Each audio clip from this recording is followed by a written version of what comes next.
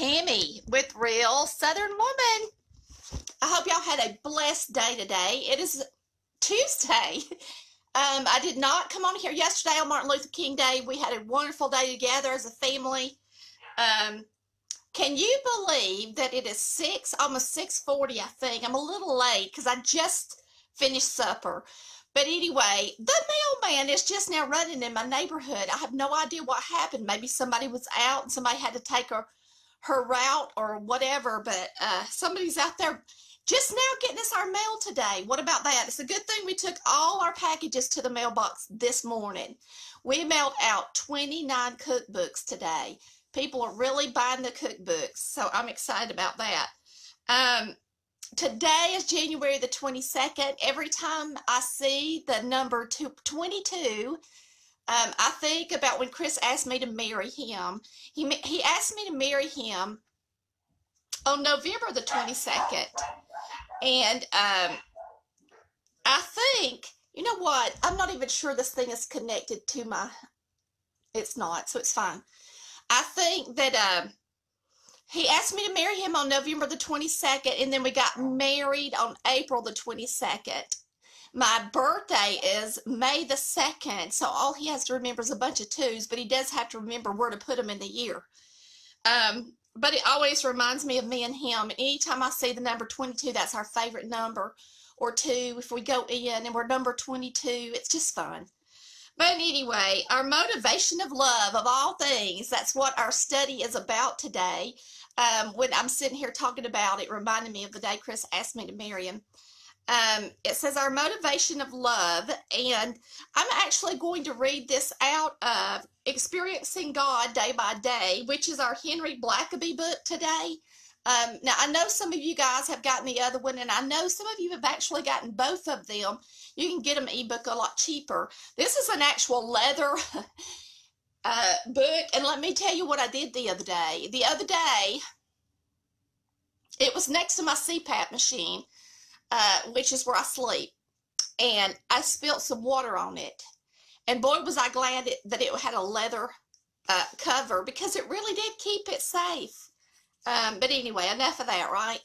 I decided I'd bring y'all over here where my curtains are instead of y'all staring at my bed when I do Bible study. It's kind of weird. Um, it says, Our motivation of love. This comes out of John chapter 17, verses 25 and 26. It says, Righteous Father, the world has not known you. However, I have known you, and these have known that you sent me. I made your name known to them and will make it known so that the love you have loved me with may be in them and I may be in them. Um, so that is John chapter 17, verses 25 through 26. And I normally tell y'all where we are before I start, but let me just tell y'all right quick. Let me look it up. Yes, um, the time snuck up on me today because I always take an afternoon nap, and I normally take my nap anywhere from two to five. Well, I lay down later today because we were working on stuff, and Chris did not wake me up until five after six. And I, I, he actually didn't wake me up. And I got up and I said, Chris, we normally have supper at five thirty. Why'd you let me sleep? And um, and so anyway, I'm just now finishing up supper. Um, I'm in love with my air fryer. I made chicken in the air fryer. I fried up some beautiful squash. I'll show you a picture of it on Collard Valley Cooks Group. And I made some red potatoes. But John chapter 17 is the chapter, I believe, where Jesus is, yeah. Uh, Jesus prays for himself and he also prays in the garden, and that's what we're reading out of. Um, before, of course, he's crucified.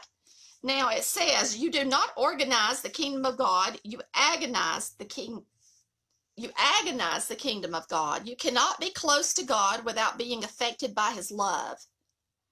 The Heavenly Father loved his Son with eternal love. Everything in the heart and life of the Father was released to his Son. As the Father expressed his love for a broken and sinful world, this passion was manifested through the life of his son. The Father initiated his plan to save mankind. And out of a heart of devotion, the Son accepted the assignment that took him to the cross. As Jesus walked among the people, the Father loved and filled his Son. Jesus recognized that no ordinary love could motivate him to go to the cross. No human love could keep him perfectly obedient to his throughout to his father throughout his life. Only his father's love was powerful enough to compel him to commit his life to saving the purpose of his father. Jesus prayed that God would place the same love in his disciples. He knew that no other motivation would be sufficient for the assignments God had for them. God's answer was to place his son in them. It is impossible for a Christian to be filled with this measure of love and not be on a mission with God. You will be incapable of ministering to everyone God sends you unless you have His love. You cannot forgive others or go the extra mile with others or sacrifice for others unless you have first been filled with the boundless love of God. Seek to know the Father and His immeasurable love and allow His Son to love others through you. That's a pretty lesson today, isn't it? So it's talking about our Father's love, which is called agape love. And um, and it talks about how only God's love uh, would have been strong enough and powerful enough to, keep Jesus, which was God in the flesh, um, motivated and on task while he was here on earth because it was evident to Jesus that we didn't have that type of love. Um, the only way we have that type of love today, actually, is when we're saved God does send his helper, which is the Holy Spirit, who comes to live in our heart, who convicts us of sin and helps us uh, learn how to understand the Bible. And with that love through the Holy Spirit, we can love others as Christ loves us. Without that love, we can love people with the with the love that God gave us the capacity to love people with, but we can't love people with the forgiving uh, type of love that our God has. Um, and so just remember that. I hope you are saved. And if you're not, then um, read Romans. Uh, the really, I like to tell people to read uh, John, which is what we're reading now. Um, even if you are saved, if you have any questions about being saved or whether or not you might be saved, that kind of question, you can read the book of John and it will really help you figure out and stay in check on your salvation. Um, but it's just wonderful that we are loved that much by a, a God who would actually sacrifice his son on that cross. It's unbelievable. Um, so let's just keep that in mind. So we are very special. Um, we're really not special, but we are in a way. We are, um, it's so hard to describe. Spiritually, we are, but fleshly and carnally, we are not. and so um, it's God inside of us that makes us who we are and special to uh, God. Because when God looks down on us now, He doesn't see us and our flesh, He sees His Son's blood uh, that's been sacrificed for our sin. Praise the Lord for that. Um, I hope y'all have a blessed um, evening. I try to get on here every day at 6.30. Uh, today was I was just a little bit late, but I will try to be on here at 6.30. Um, Lord willing. Uh, just remember if for some reason I'm not on here, either it may be a weekend, it may be a holiday, it may be a day that I'm out with the kids doing something important.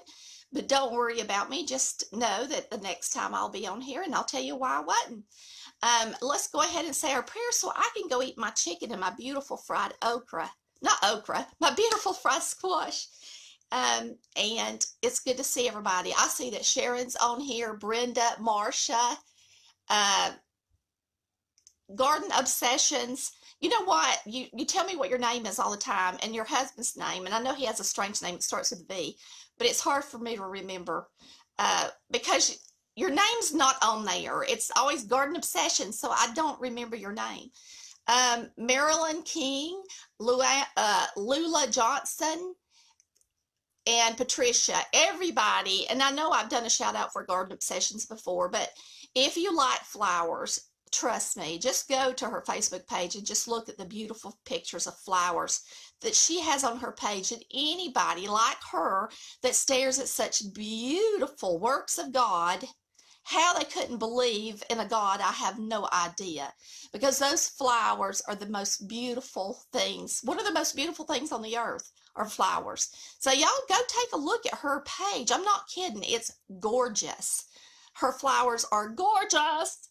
Um, let's say our prayers. Dear Heavenly Father, we thank you so much for your love, this abundant love, this agape love that you have provided through your Son, Jesus Christ, by the Holy Spirit that comes to live in our heart. We thank you so much for your guidance that we have through this Holy Spirit. For without Him, we would be wandering and think, you know, just doing our best like those in the Old Testament, um, without when they they didn't have the Holy Spirit to help them. And I thank you so much for your Holy Spirit and your Word. Um, to help guide us each and every day, to help make our lives more abundant, and to help give us joy, peace, and love in our hearts. May we spread your love um, to others the best we can um, and let's try really hard um, to always give you credit for all the good in our life. In Christ's name we pray, amen. Y'all have a beautiful, beautiful night. It's so good to see all of y'all. And I love you and I love um, I love y'all too. Somebody said they love my Bible study. Thank you. It is a blessing to get to bring it and it keeps me in check and it keeps keeps us all in check and um, we can never read too much of the Word of God. Y'all have a good night. Love you.